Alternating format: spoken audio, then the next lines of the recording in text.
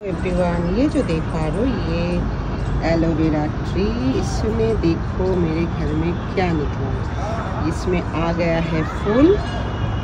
देखिए अभी ये खिला नहीं है ये अभी फूल खिलेगा शायद। मुझे भी बिल्कुल पता नहीं है कि फ़र्स्ट टाइम मेरे घर पे आ, ये देखने को मिला है। क्योंकि आ, मुझे ये प्लांट रखते हुए मेरे घर पे तीन साल हो गया है। तो तीन साल का पुराना ये प्लांट है और उसमें ये आ गया है फूल।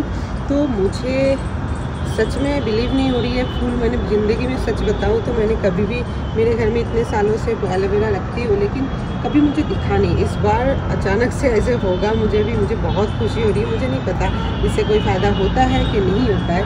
आ, शायद होता है मैंने अभी गूगल सर्च किया तो देखा हाँ फ़ायदा है। ये जब खिल जाए उसके बाद है तो पुराना प्लांट है इसीलिए हुआ है। आई थिंक मुझे तो ऐसा ही लग रहा है क्योंकि न्यू प्लांट में होना मुश्किल होता है। ये तीन साल साढ़े तीन साल हो गया है इस प्लांट को। इसीलिए मुझे लग रहा है हुआ है। अभी तो एक ही फूल खिला है मतलब निकला है इसमें से। आ, है तो इसमें बहुत ज़्यादा बहुत सारा हुआ मतलब बहुत मतलब मतलब लगाया था मैंने एक लेकिन अपने आप हो जाता है ये आप लोगों को भी पता है।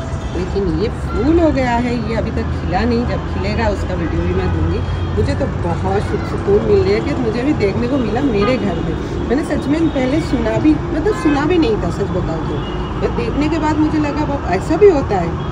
चलो थैंक यू सबको मेरे साथ आए रहने के लिए। अगर इसके बारे में कुछ भी आप लोगों को पता हो, क्या फ़ायदा है, क्या नहीं है प्लीज़ मुझे कमेंट करके ज़रूर बताइएगा।